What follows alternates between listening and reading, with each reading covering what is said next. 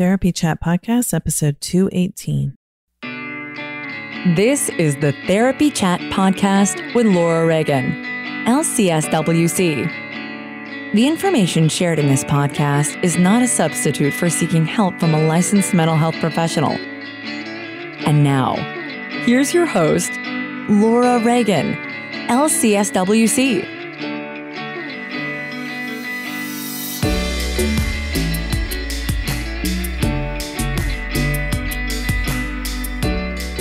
Today's episode is sponsored by Therapy Notes. Between writing notes, filing insurance claims, and scheduling with clients, it can be hard to stay organized. That's why I recommend Therapy Notes. Their easy to use platform lets you manage your practice securely and efficiently. Visit therapynotes.com to get two free months of Therapy Notes today. Just use the promo code TherapyChat when you sign up for a free trial at therapynotes.com. Hi, welcome back to Therapy Chat. Today's conversation is definitely something different that I have not approached previously on Therapy Chat.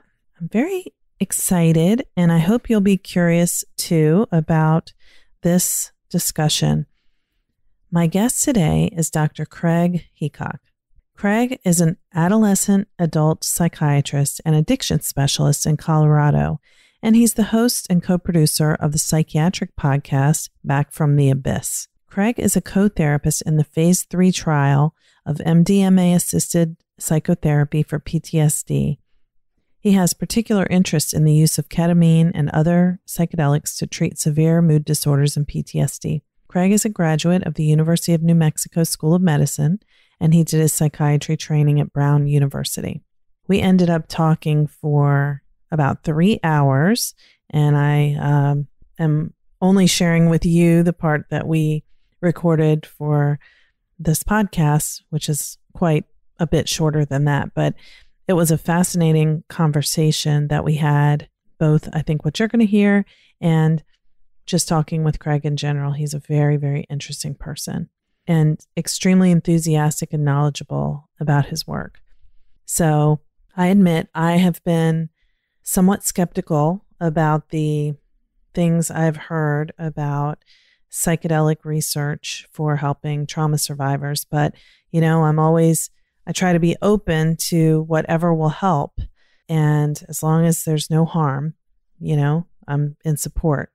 So I had a very, I was soaking up everything Craig was saying like a sponge. And I thought it was really interesting. I wonder what you will think let's just dive right into my conversation with Craig Heacock. Therapy Chat Podcast wouldn't exist without the support of its listeners. If you'd like to become a member, please go to patreon.com slash therapy chat. By making a $1 per month donation, you can help Therapy Chat keep going over the long haul. Thank you for your support. Hi, welcome back to Therapy Chat. Today, I'm very excited to bring you what I know is going to be a fascinating discussion with someone who's doing something very unconventional as a therapist. My guest today is Dr. Craig Heacock. Craig, thanks so much for being my guest on Therapy Chat today. Oh, it's great to be here. Thanks for having me, Laura. Yeah, I'm so glad we were able to connect. I'm fascinated by what you're doing. You are a psychiatrist and a podcaster, host of Back from the Abyss. And you are doing some, you're part of some very interesting research into using psychedelics to help people heal from PTSD. Yeah, I am part of what's called a phase three study of looking at MDMA, which is the street drug ecstasy or Molly, but this is pure pharmaceutical MDMA, using MDMA to catalyze psychotherapy for trauma. The study is called MDMA assisted psychotherapy for PTSD. And there are a number of sites around the US. Fort Collins is one of the study sites. So I am a co therapist and physician in the study. And I have a female co therapist, and we are working with people with severe, typically complex PTSD uh, using MDMA or placebo to do all day long kind of deep dives into trauma. And the study also includes what we call some preparation days and integration days. And yeah, this is a, it's a fascinating time to be alive in trauma work, and and psychedelics are coming back. Yeah, this is really, I mean, there's, you know, I think we're a little bit controversial in some circles, but the work sounds really important and interesting. And I, I definitely want to hear all about it. But before we even really dive in, let's just talk about, well, I'll just ask you to introduce yourself to our audience and just tell them like more about what you do in your life in my life, yeah. In your work. yeah. Um, I'm in Fort Collins, Colorado. And I'm in solo private practice. I'm an adolescent, adult, and addiction psychiatrist. And in my practice, I see um, a wide range of things. Lately, I've been doing a lot of IV and intramuscular ketamine treatment for severe depression and suicidality. And then, as I mentioned, I'm, I'm in the MDMA study, which is sponsored by an organization called MAPS and then also, I just six months ago, I started a podcast called Back from the Abyss, which is a psychiatric storytelling podcast. It's people telling how they plunged uh, into the psychiatric abyss and, and their journey out. And that's been an incredibly meaningful process and really a way that it's helped me to sort of fill my emotional tank from the really intense work that you know we all do in mental health and in trauma yeah, podcasting is such a wonderful creative outlet and can provide so much connection that I think it's like you don't realize it when you take on becoming a podcaster, but it's it's a beautiful thing. It really is. Even just the editing the the people's stories. I'm I'm in my house literally with my headphones on, tears streaming down my cheeks, but they're just tears of really of of joy of hearing you know, people's stories. And my wife will walk by shaking her head, like, "Oh, there you go again." what are how you long, doing, Craig? How long are you going to sit there and, on your laptop and just tears going down your cheeks as you listen to these stories? But it really has just given so much back, and to help people tell their stories. Uh, it's been one of the most powerful things I've done, and it's it's fun because much like Laura, you therapy therapy chats your baby. You know, this is my baby, and um, like being part of the MDMA research is just fascinating and meaningful. But you know, I'm a I'm part of a big, complicated, multi-site study, and it's just very different to be involved in a complicated research project versus having people come in, um, put on headphones and microphone, and have them open their heart to share their their deepest psychological psychiatric abyss and, and what that was like. Yeah, there's I'm sure your role is quite different in being a co-therapist in the study versus just talking with people, you know, just having an interpersonal connection with people that isn't, you know, you're not really in your psychiatrist role or your therapist role there. Mm-hmm.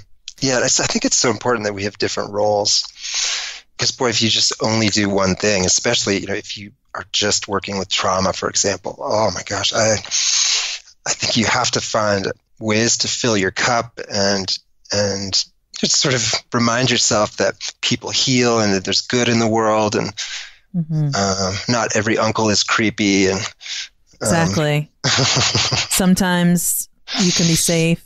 Yeah. yeah. Yeah. Well, thank you for sharing that. And um, I want to kind of clarify something because as you and I were talking before, we we noted that you may be you're definitely among one of the first psychiatrists I've had on the podcast, and you seem like you are not the kind of psychiatrist who does like 15 med minute med checks. No, yeah. No, no, no. I um yeah, I went to a psychiatry program, Brown, that really celebrates therapy, and I went there very purposefully. And I love therapy. Um, it's personally, it's been deeply helpful for me, and I love working with other therapists. For some of my patients, I am their therapist, but I'm I'm a huge fan of that. And yeah, the whole med check thing to me is so profoundly depressing, distressing, and especially this latest thing that that psychiatrists are starting to call themselves psychopharmacologists hmm. which to me would be like a cardiologist saying, "Oh, I'm a I'm a um, cardiac pharmacologist, you know, or a GI doc. I'm a gastrointestinal pharmacologist. I mean, it just to seed the whole idea of connecting interpersonally and through therapy and I, I that is just the most depressing trend in psychiatry right now. And luckily, there's still a lot of psychiatrists who are doing what I do, which is longer sessions and incorporating therapy into their work and, and celebrating therapy and not just thinking of, of it as an adjunct and that meds are the primary thing because I actually think it's the opposite. I think therapy is primary and I think meds are adjunct. Personally, that's what I think too. Mm-hmm. So I would love to learn more from you about this this idea of using psychedelics to help people who have PTSD. What is what is this study trying to do? Mm-hmm. Well, maybe a little background. So MDMA, okay. MDMA was before it was made illegal in '85. Actually, was used fairly extensively in the underground trauma therapy community for about the decade before 85 and and apparently there's a couple books written about that era that are fascinating but when the DEA decided to schedule it, make it Schedule One and illegal in '85, a bunch of therapists went to DC to testify to say, "Look, please, DEA, don't make this Schedule One, which would mean it'd be essentially banned from any research or, or medical inquiry. And please schedule it some other two, three, four, like benzos or opioids, or at least so it could be controlled carefully, but it could potentially be used. And but in those days, 85, those were the just say no years in the Reagan years, and it was made illegal uh, in 85.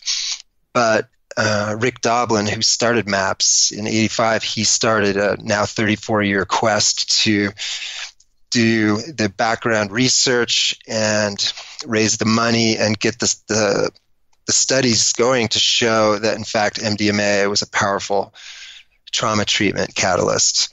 And so, over the last eight nine years this has been happening. Phase one so there's three phases of studies that have to happen for a med to be approved by the fda phase one is a is a safety inquiry and that happened. Mdma was shown to be safe in the dosages and frequency which is being used in the study phase two was done a few years ago that was looking at efficacy in a small population of people. And then phase three, which we're in right now, which is the final step towards potential FDA approval in a few years. Phase three is looking at MDMA efficacy for trauma in a larger population, which right now MAPS is looking at probably enrolling a few hundred people ish to 300, something like that.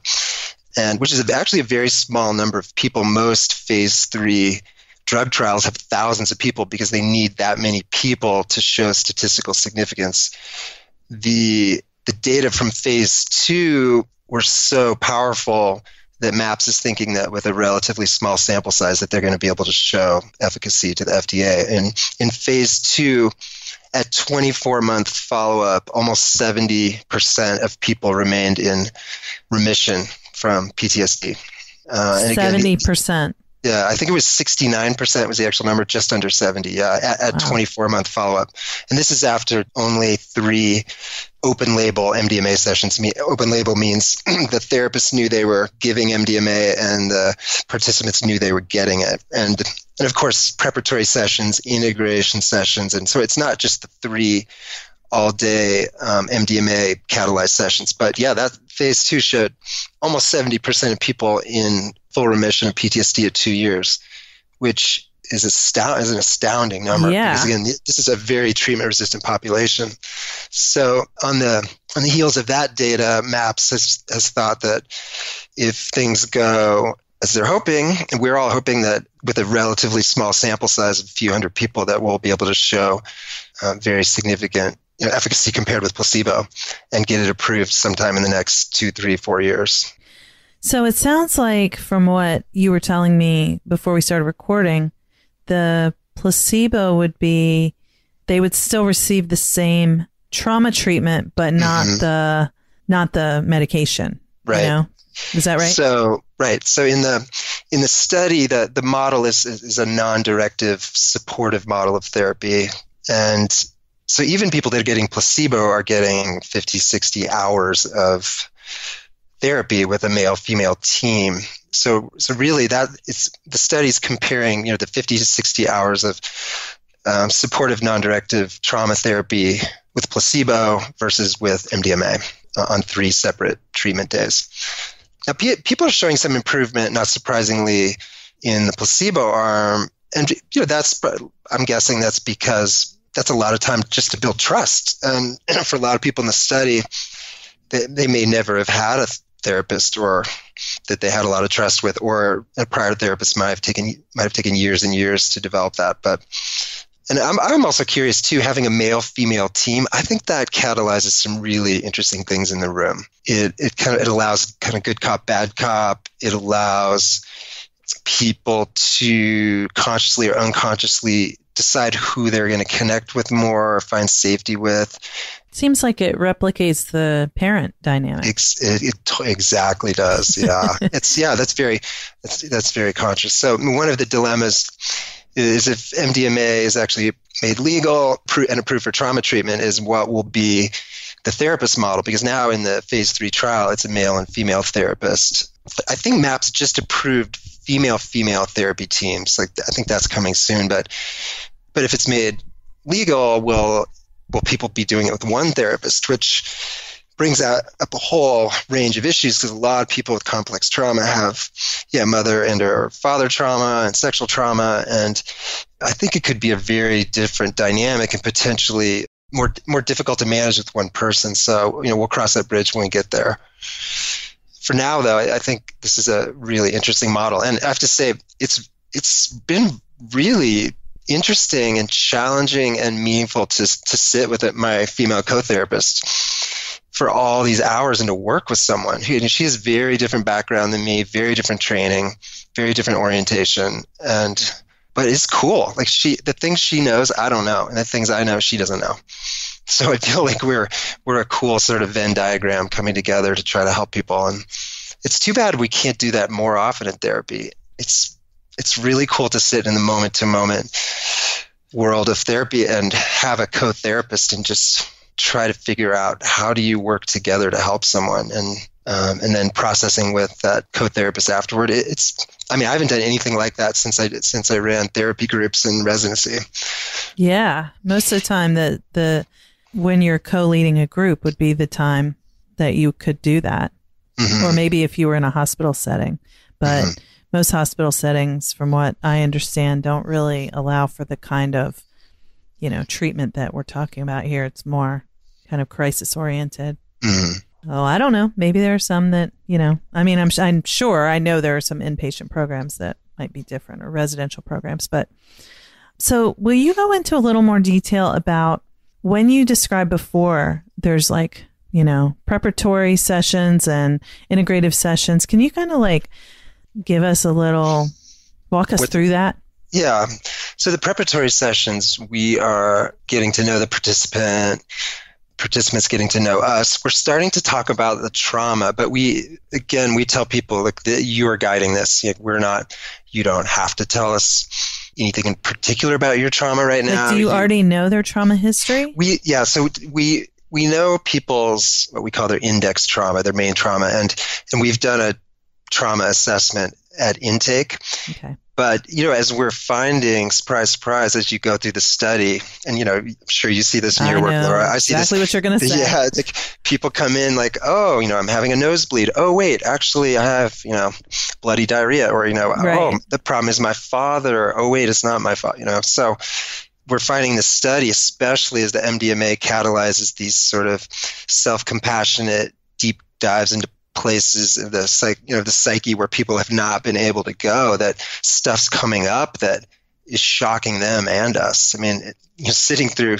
Well, actually, let me back up. So I'll get to the actual session. So okay. the preparatory sessions are re, are t- are to talk about what's going to happen on this on the medication versus placebo days, but also to let people know like this is they're in, really in charge. Like we're they are not performing for us. They don't have to do anything. They're not expected you know to talk about trauma a or b in a certain way that that we really try to model in the preparation sessions what's going to happen in the drug versus placebo sessions which is we're just going to let it unfold. And we're going to be there to support them and whatever comes up.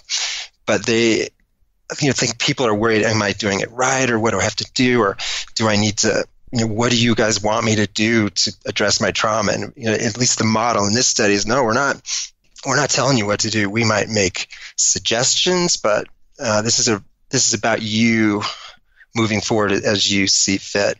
So there's definitely people I've worked with in the study that going into even the first experimental day, the MDMA versus placebo, I felt like I didn't have a very good sense of their trauma because they just were, it was too hot to touch.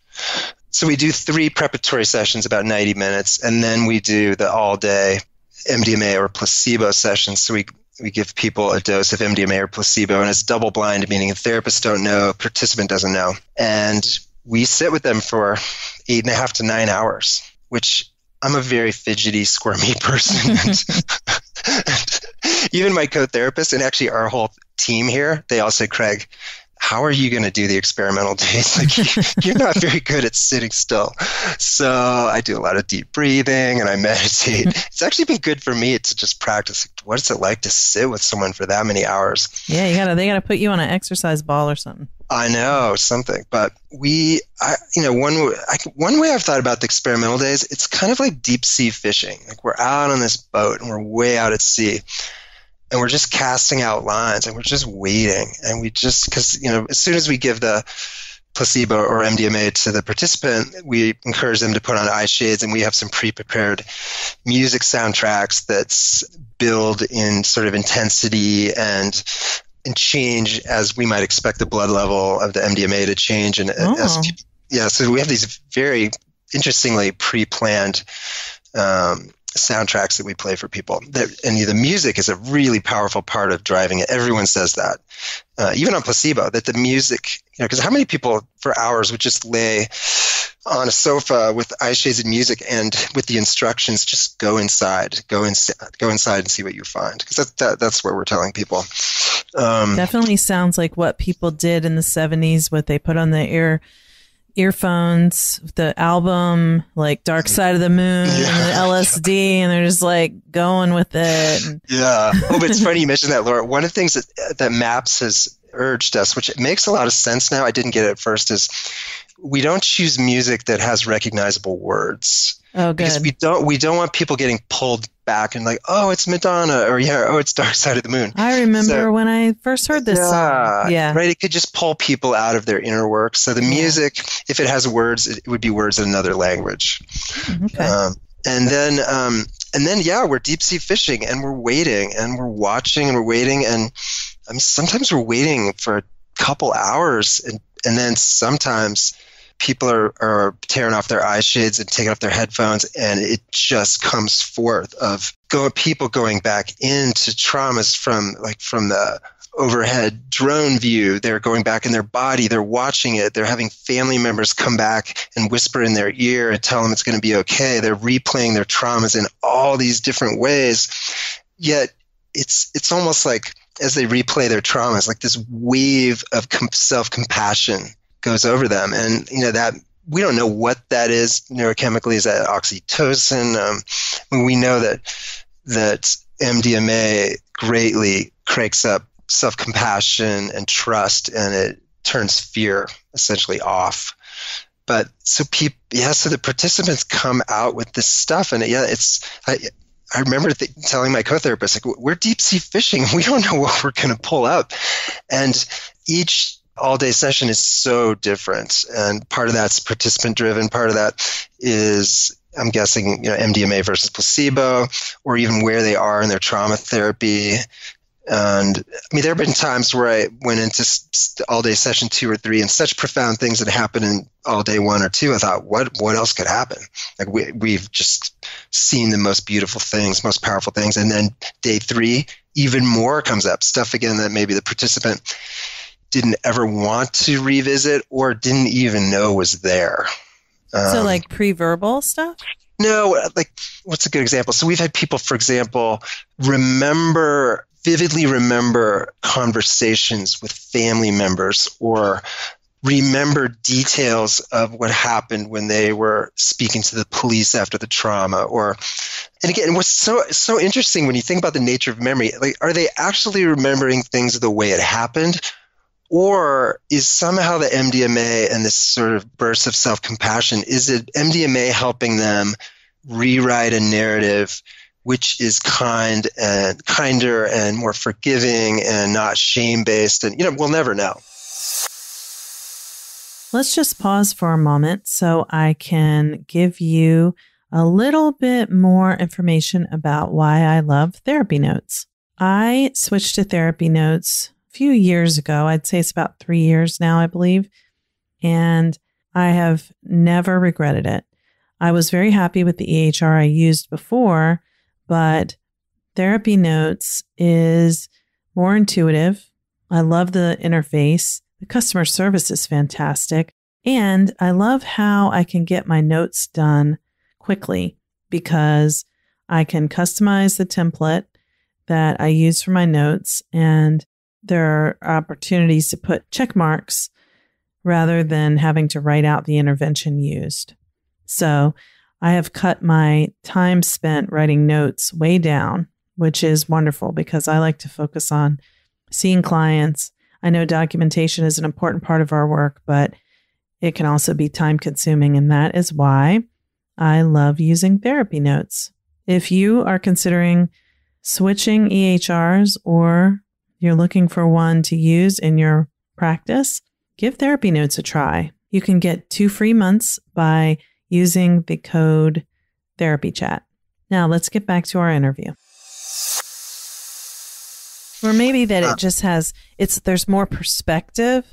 You Right. know, like a big picture perspective instead of this like, you know, and then this happened and it was because I'm bad and you know that sort of like I guess ego centric view that you would have when you're a child and the meaning you make out of your experiences. Yeah, because one, yeah, I've just had this image as you were speaking, Laura, of thinking like the way now when we try to access trauma with in ourselves or with other people, it's almost like there's little like points of flat of light going back where we're trying to illuminate what happened, but we just have these little pinpricks of light. And MDMA therapy seems to be like a a huge burst of compassionate light that just lights it up like almost those Mm. flares like that just you know you can shoot the flare and it lights up the dark street or and and but it lights it up with this this just peaceful it's okay it's it's it's love i mean um on my um, podcast i did a two part episode on healing psychedelic or sorry healing trauma with psychedelics and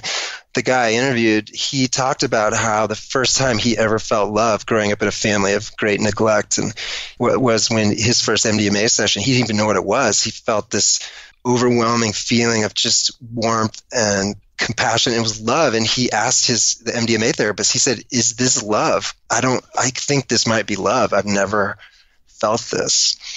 Wow. And so and that's that's the kind of things that we're seeing. It's just I mean, I mean, I cry all the time. I it's like everything makes me cry, but I cry. Like that. You Yeah. allow yourself to be moved. I I moved a lot, but I oh so many tears in those sessions. In fact, when I, when I was just saying that about the music, uh, it, there was a time um, one session we did right near the end, and we are hearing it. So that the participant has headphones on, but we also pipe the music into the office so we can hear it, which is really awesome. Mm-hmm. And so maybe at hour four and a half after some profound work, Beatles' "Here Comes the Sun" came on Oh, and it was so beautiful. Yeah. We we we all three started singing along with it, and we mm-hmm. just sang and we sang along with it, and just out of just joy and relief and all the work that had happened over those past few hours, and and I said to my co-therapist, I said, "How did you know to put?"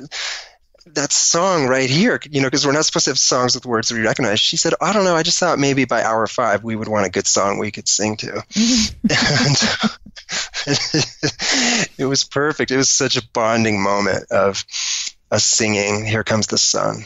Oh, I can imagine. And and I'm just so curious as I'm I'm picturing this as you're talking about it and the client is there and they've got the shades over their eyes and the earphones and they're listening to music and they're inward.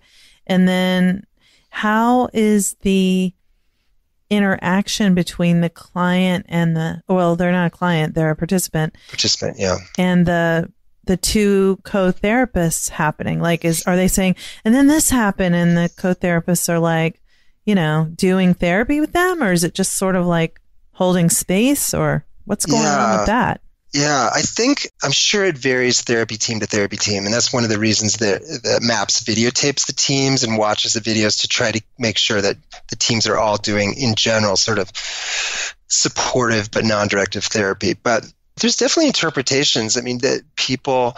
One of my participants in the study, he um, he didn't know about grooming, and so he described basically how he'd been groomed by a perpetrator. And I said, "That's a thing. That's grooming." And but it, it was interesting. I think to hear it while he was in such a heart opened state, it just sunk in. Like it brought tears to his eyes and my eyes to, to realize that this was a whole process, you know, that mm-hmm. he was a, he was a sheep in the meadow and the, the wolf had a plan. I mean, and the wolf was, had spent a lot of time making sure that that sheep was alone in the meadow. Like it, it was not random.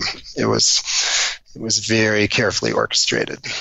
Um, and then you know, sometimes touch is part of it, and that that's a very tricky thing. And you know, so we spend a lot of time talking to people about touch, and we'll offer them a menu, like in the prep sessions, like we'd say, you know, you could we could uh, hold your hand, we could sit with you, you know, if you uh, if you wanted to um, push on us, if you if you needed to feel like you needed to fight, you could, you know, you could put your fists against our hands and push against us. We could do different kinds of body work. And most people, my experience so far has been, you know, they think, yuck, I never ever want you to touch me. I'm not so comfortable with that either as a psychiatrist. Yeah, that, you know, especially when you work with abuse trauma, survivors, yeah. there's a pretty strong message don't touch. Yeah. You know, although I've personally begun to be a little less rigid about if we want to give a high five or you yeah. know the person but, asks to give a hug on the way out or something yeah but my co-therapist has a lot of experience with somatic work it's mm-hmm. very comfortable with it she just exudes she's just she radiates just like warmth and kindness and yeah she's just safe. perfect she's so safe like Aww. yeah she yeah she's the kind of person that you want her to be your mom so so she she is always at least in our therapy dyads and our sessions she has been the one who in general has reminded people you know in experimental day one or two hey is is touch you know is there any kind of touch that might be helpful and i've seen some really powerful things happen with touch where you know it could be holding hands you know times that yeah she and i have sat next to the person when they were going through some hard stuff. Or even uh, one guy said yeah i want to fight i want to fight i want to fight him off. And so we um, we held up our hands and he pushed against our fists and and we hit a very powerful energetic release as we sort of reenacted the the the fighting. And again i think it, that may sound very strange to people imagining it happening in your office right now. It's not anything in a million years I would ever do in my general psychiatric practice. But well, we totally but, would do that in sensorimotor psychotherapy or somatic yeah. experiencing, which is I'm trained in sensorimotor. Yeah, no, I'm no, I'm I just I mean I personally like I'm just not. Yeah, I mean I'll touch people like during a neurological exam or anything, but but to see the power of it, and again to have a female co-therapist there, which makes it so much safer. I think for a lot of people. Um, and to see the power of the somatic work, because you know, we know that trauma is held in the body, and a lot of people need. I think the body has to be included in trauma therapy, and and MDMA has a very powerful somatic component as well. It's I don't know what it's doing in the body, but it's doing something very powerful. And again, I think when you combine that with the, the trust aspect and the self compassion aspect and the dialing down fear, it allows people to be in their bodies in a way they haven't been able to. It allows people to kind of break out of the dissociative freeze, to just connect to themselves. And if you, if you think about what's happening with the eye shades and the music, I mean, probably at, at the most basic level, people are connecting with themselves, which is not something they really have ever wanted to do or been able to do since the tra- you know, trauma occurred. Right, uh, because the body is where the sensations and emotions related to the trauma are held. So if you can't tolerate experiencing them, then you have to be disconnected from your body. Mm-hmm. And that's definitely, I mean, it sounds it sounds like a really beautifully hopeful thing, but I just before I want to ask you about kind of what what do you feel is the you know what are you seeing as the outcomes and what do you feel is the the promise of this but before getting into that i'd like to understand because i'm imagining that it's all like blissful. And then I'm also knowing that, you know, if, if someone's saying, I want to fight them off, mm-hmm. you're saying fear's turned off. So maybe that's just neutral. It's not, this is happening and I'm, I yeah. want to feel more empowered. No, there's still there can be strong emotions, and we we've sat with people as they screamed the perpetrator's name, sobbed, rocked back and forth, and you know in great pain. Again, for people that only know MDMA in sort of the rave uh, party context, it might be hard to imagine that people could actually be going through some really strong negative emotions. But oh yeah, we see that for sure. And it almost other, wouldn't make sense that it could be processing if there were no. Yeah. It just doesn't seem possible, but oh, yeah. who knows? no, no, it's very. Even though it's beautiful, it's it's not. Um, oh yeah, it's not like it's sunshine and roses and people are smiling like, oh, it's all good and my okay. trauma's gone. Oh no, no, no, no, no, no. It's and then what you know we see laura you and i talked a little bit about this before we started recording is what we're seeing is even when the MDMA assisted therapy is is really helpful and successful, that's just the beginning. I mean, that is just now people are seeing, okay, I want to maybe possibly connect with people or I could or I think I could trust or I I think I could do this life.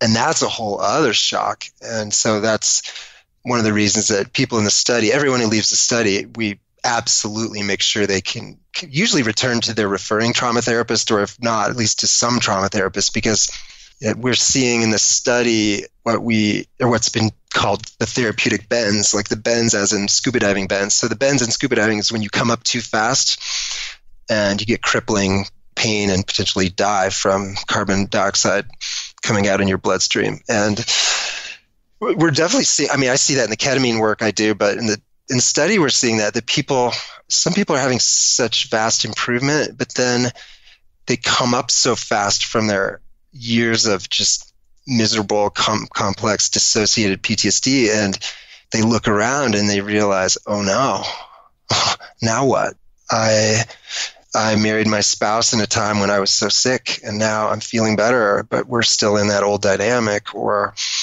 or they're um, still very sick and There's not, yeah, yeah, yeah. So by no means is MAPS or you know, any of us working on this. or We're not thinking like, oh, this is some magic pill that you're going to go to Walgreens and take MDMA and your trauma's healed. Woo! No, I mean that's no, no, no. This is we're really. I think the way to think about MDMA work, and I and I think a lot of this psychedelic work that's that's being that's happening now is that it's a catalyst. It's a way to speed things up. You know, it's it's a way to because you know, some people are able and willing emotionally, financially, time wise to do the hard work of trauma therapy. A lot of people are not. They just they don't have the wherewithal to to put in the time and money and energy, or or their trauma is just too awful. I mean, sometimes I think of complex PTSD. Like it's like we're asking a woman to birth a 14 pound baby. You know, it's just it's not coming out. I mean, there's just not. It's just not going to happen. And you know, M- MDMA is like a that's like a compassionate epidural to help help the trauma baby come out. So, mm. but yeah, none none of us are claiming this is some miracle cure. I think we're we're hoping that this will be you know a really powerful addition to the you know the options for treating one of the most intractable, miserable, and common things we see, which is complex PTSD and chronic PTSD because boy, I know at least as a psychiatrist, you know, what do we have to offer people with severe PTSD? Not much. Uh, I mean, ketamine can dial down depressive and suicidal symptoms associated with PTSD, and we can use beta blockers and prazosin for nightmares. And I mean, it's definitely things we can do, and of course, there's all sorts of both talk and somatic and therapies and EMDR. There's a lot of things, ways to treat trauma, but still, I think we see in our work that it's a long, hard haul for most people. Mm-hmm. One of the episodes of my podcast, I, I, I did a two part on EMDR, and the part two is a woman who did six years of EMDR to work on her complex PTSD, and it, she got much, much, much better, but it was brutal slog, and she describes in the episode what that was like, the six years of working with a really incredible trauma therapist here in Fort Collins, and you know, it works, but man, it was it wasn't a marathon; it was an ultra marathon. It was an ultra marathon you know, in in the desert. I mean, it was just yeah so hard. It was a hero's journey, but not everybody can do that.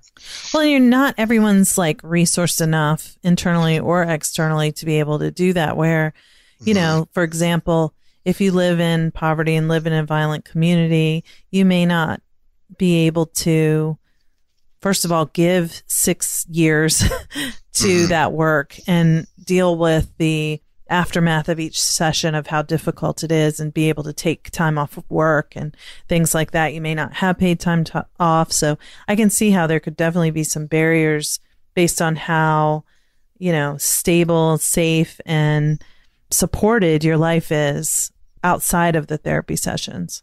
hmm But it seems like this could be a very promising way to kind of open a door to being able to safely access the painful material and do the work. Yeah, allow Yeah. you to at least have a chance to do the work. That's a good to walk into the burning building of your trauma and and have a chance to yeah to try to put the fire out. Um, You used an analogy before. You said it, it's like you're walking into a, when you and I were talking, you said something, you're walking into the burning building, but you have a fireproof suit yeah, yeah. I think something like there's that. yeah that you know if, if if your trauma is this burning building and you know your trauma therapist other people saying hey let, like let's let's go in there i'll be with you we can do this and you just it's burning at 10,000 degrees and you think i cannot go in there and yeah one way to think of mdma it, it seems to allow people yeah to to envelop them in a kind of protective suit that lets them walk in right into the trauma and do that do that work. So yeah the, the mdma is not fixing the trauma or it's not some you know cure in a pill but it by its powerful effects on self-compassion and uh, empathy and oh, let me back up. Actually ecstasy i don't know how many listeners know this but ecstasy the street drug and so mdma when it was starting to be sold um, in bars in, in the early 80s in texas and sold as a party drug it was originally going to be called empathy but then the guys making it decided that even though empathy was a much better more accurate description of its effects they thought they'd call it ecstasy because that would sell better Mm. and so but many people with experience with mdma would say oh yeah empathy would have been a much more accurate description but yeah probably wouldn't have sold as well in the in the texas bars in the early 80s I want empathy. empathy. Could i have a bud light and two empathy? No th- three empathy. Well, you know, what you said about self compassion, I think that feels so powerful because, in my experience in working with people with complex trauma, it's, it can be the hardest thing to allow any self compassion. You know, to even try to access it at all just feels way too vulnerable and not safe. And the, you know, the threat response system gets activated by the idea of it you know Mhm. so if i think what what helps me understand where this fits potentially based on my own just sitting with people in the therapy room it's like it can take so long just to build up enough trust to even begin to go there and you know like the three phase approach where safety and stability is the first phase of trauma therapy that part can be four years, five years. And mm-hmm. then once the the safe relationship is there, and you know, it's so hard to build it because relationships haven't been saved in the past. But once the safe relationship is there, it creates a space where the person can trust that they might be able to start doing the deeper work and and have someone they can count on to help them if it gets really intolerable. Mhm. And it sounds like you're saying that they can reach that point of being able to trust more quickly. But do you think that effect persists after the the treatment, like the trust part? I know you I said the do. symptoms are in remission. I do. Yeah, it's it. I again, I don't know that we can really explain the why of it, but I think participants would say that it's such a powerful experience to be in a supportive container with again, male, female therapists, and again, you mentioned the mom dad transference thing, which I think is a powerful part of it. Um, to be in a container all day. So just that. But then when you stir in MDMA that is just opening their heart, it's for many of these people, they have not felt anything like that either ever or in a long, long, long, long, long time. Um, and so, you know, maybe like almost like the going on, you know, a five day outward bound trip or two week NOLS trip or two week summer camp, you could leave and you think, okay, that was just opened my heart and I'm so connected to those people because it was just, it was a different experience and different context and it opened you up. I mean, I've had this experience with holotropic breath work where when I did the MDMA therapist training, um, bef- at one of the five day trainings, we all did holotropic breath work, uh, all the therapists in this big room. And uh, it, it broke me, it cracked me open for days, maybe a week. And they, they said later, they said, oh, yeah, that's what we wanted. We wanted, said ideally we would have given everybody MDMA on day one to sort of crack people open and, and help them form powerful bonds with their co-therapists and other people. But the holotropic breathwork did the same thing. I mean, maybe it's something about altered states, or I don't know, but we're seeing that in the study that the the powerful sort of trust that can form in those treatment days and, and in the integration sessions afterward that continues. And that in part, itself seems worth doing it you know? Yeah. Yeah.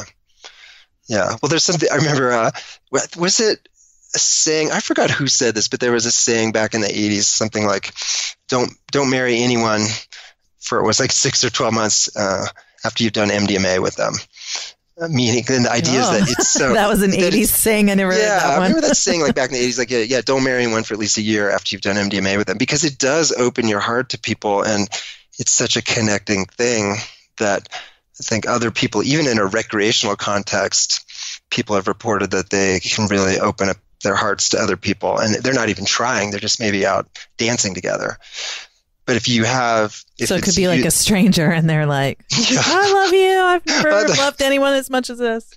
Yeah, exactly. Okay. But again, but imagine if you took that sort of power and opening the heart and dropping defenses, and you bring it into the container, all-day container with male, female therapists. Like we are here to help you, and we're here to sit with you, and we're here to just see what happens. And you don't have to do anything for us. You don't, we're not expecting anything from you. We're just here to witness and support you. I mean, that is powerful stuff. It sounds so, yeah, very powerful. Yeah, the trust seems to persist. That's amazing. And yeah. The last thing I want to ask you, even though I would like to ask you so many more things, but just for time's sake, is about, you know, how you do define remission for this. I think people who are listening are like, but wait, what is remission? Yeah. Yeah, that's a great question. So MAPS uses two different PTSD scales. Um, and I don't know if I'm supposed to mention those. No, that's fine. You don't have yeah, to. I think, yeah, I think I'm not supposed to talk about the scales. Okay. So uh, remission means uh, having a score low enough on those scales that you no longer meet criteria for PTSD. So granted, that, that what we're talking about is that people reached a certain number or below and stayed there. And so that's an imperfect measure. And PTSD is a syndromic diagnosis, and it's not. It's not like acute myeloid lymphos- uh, leukemia where you have it or you don't. I mean, PTSD is a it's a gradation, but yeah, these these are nationally used scales, and so that that's what they're measuring it on. Okay, and so people may still have trauma symptoms, but they do not have enough symptomatology to meet the criteria for PTSD. Yeah, on these measuring scales. Yeah. Yeah. What we're seeing clinically is people are saying my nightmares are gone. I um, I can be sexually intimate again. I can walk down the street and not feel in danger, or I feel like there's hope for my future. You know, those I can sleep. things. I can sleep. Yeah, it's a big one. I can because that's such a huge one. I mean, almost everyone yeah. with trauma, sleep is a major problem. Right. Yeah, when the smoke alarm of your sympathetic nervous system is going off all the time, yeah, how, how do you sleep? Mm-hmm. You don't. And then you have nightmares. Mm-hmm. Well, this has been, as I expected, a fascinating discussion. And I'm so grateful, Craig, that you wanted to share this with us today. Yeah, this has been really fun. We got to do it again soon. Yes, I would love to talk with you more because, you know, we didn't even, we barely scratched the surface of what you're doing with ketamine. And, you know, I know a lot of people are curious about that too. So maybe we can have a part two. But for now, yeah, I would love that. Thank you. I would too. So, where can people find you? And I will post what you're about to tell me in the show notes. So, where where's your website that people can find everything you're okay. doing in your podcast? Yeah, my website is Craig Heacock, C R A I G H E A C O C K M D, CraigHeacockMD.com. Uh, and the podcast is called Back from the Abyss, and you can access it from my website or it's on all the podcast platforms. And just just know on the podcast, some of the episodes are very heavy. Some of them are lighter, and a couple are even funny. But um, one of my friends said the other day that I should put like a hot chili warning on the episodes to warn people how spicy they are. So episode one is a four chili spicy Whoa. episode. It's very intense, um, near and dear to my heart. I still cry every time I hear it. But yeah, so if you listen to one episode from Back from the Abyss and it feels like it's a little too too hot, you could find a less spicy one that might make you smile. yeah. Well, it seems like you're doing in many different ways. You're doing great things in the world, and I'm so glad for you that you are, and and for the world. So thanks again oh, for being you. my guest. Yeah, this has been so fun. We'll do it again soon. Thanks so much for listening to my interview with Dr. Craig Heacock. As you can hear, the progression of our conversation, I was much more open and curious about the use of MDMA with trauma survivors after talking with Craig. And honestly, I feel like it seems very promising. I hope so. I want there to be ways for people to get relief as much as possible. What did you think? I would love to know your thoughts about this. Are there any concerns or drawbacks that you might be aware of that we didn't get to or we haven't discussed? Have you ever had a client who has undergone any of the psychedelics for helping PTSD and did they have a positive experience, negative experience, neutral? I'm really curious. As always, I'd love to know what you think about this episode. And you can go to the website, therapychatpodcast.com, and leave me a message on SpeakPipe. I might use your voice in a future episode if you decide to leave me a message. So until next time, thank you so much for listening to Therapy Chat. Today's episode is sponsored by Therapy Notes. There are many ways to keep your practice organized, but Therapy Notes is the best.